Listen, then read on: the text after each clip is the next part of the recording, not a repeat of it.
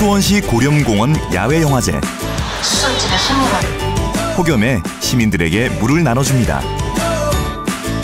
평소처럼 재활용 홍보 비디오도 보여주고 분리수거 안내도 합니다. 쓰레기는 여느 때처럼 차곡차곡 분리되어 쌓입니다. 플라스틱은 플라스틱 통에, 비닐은 비닐통에 잘 분리해 버렸네요. 여러분은 이 일상적인 행동에 문제가 있다는 걸 눈치채셨나요? 가정에서 플라스틱을 배출할 경우에는 뚜껑과 라벨을 제거한 후에 배출하셔야 합니다. 만약 그렇게 하지 않을 경우에는 선별이 제대로 되지 않아 소각장으로 갈 수밖에 없습니다. 그렇습니다.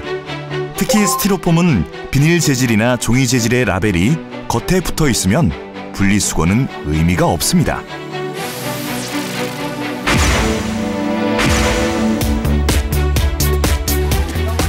그렇게 열심히 분리해 버렸건만 여태까지 우리는 뭘 했단 말인가요?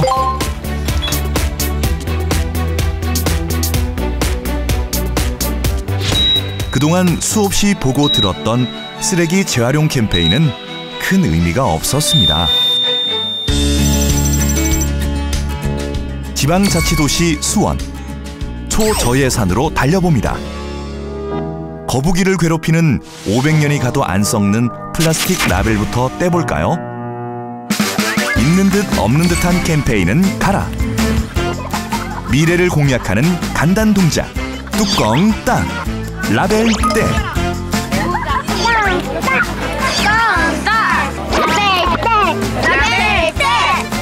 웃으면서 기억에 남는 동작이군요.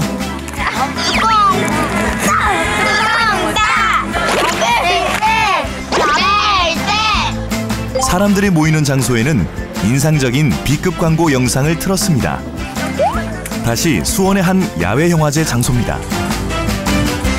수원 시립극단 배우들의 재능 기부로 만든 재밌는 광고가 상영됩니다. 수 없다는 겁니까? 귀인이에요, 귀인. 새로운 삶을 얻게 되길 바랍니다. 내 바램은 폼나는 자동차로 다시 태어나는 거. 예? 답답하네. 어? 뚜껑 열고 라벨 떼고 그래야 다시 태어나는겨. 모든 재활용 폐기물이 다시 태어나도록 깨끗한 지구를 위해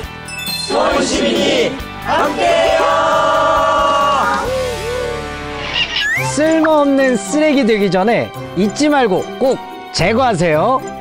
열어. 뜯어 뜯어 뜯어.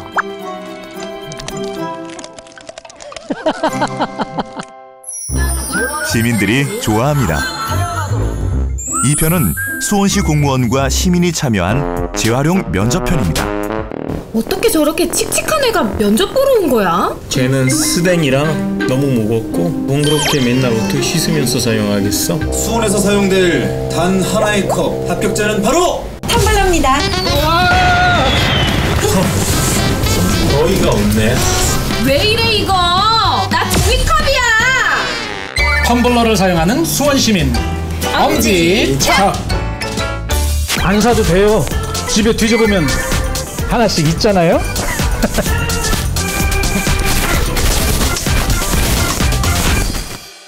에코 수원 캠페인의 목표는 단 하나.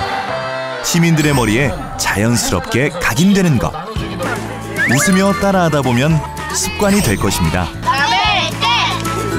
지난 영화제와 비교해 볼까요?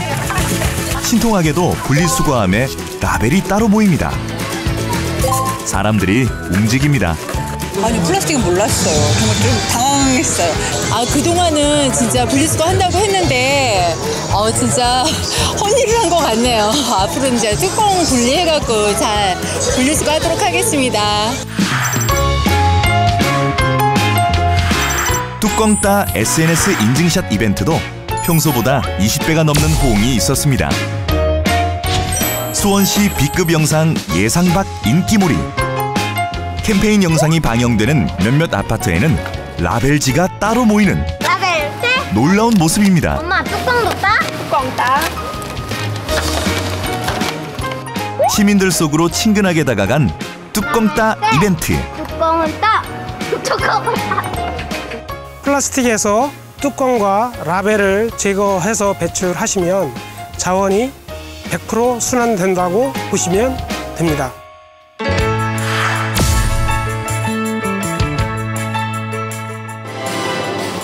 이참에 시장님도 에너지 절약을 위해 나섰습니다. 모든 의전을 최소한으로 줄이고 폭염에 대비해 간편한 반바지로 출근하라. 에너지를 절약하기 위해 폭염과의 전쟁이 선포됐습니다. 엄, 근, 진을 버리고 친숙하게 라벨 쓰고 또 쓰면 플라스틱은 더 이상 쓰레기가 아닙니다. 거북이도 살리고 지구도 살리는 B급 캠페인이 바로 A급 캠페인입니다.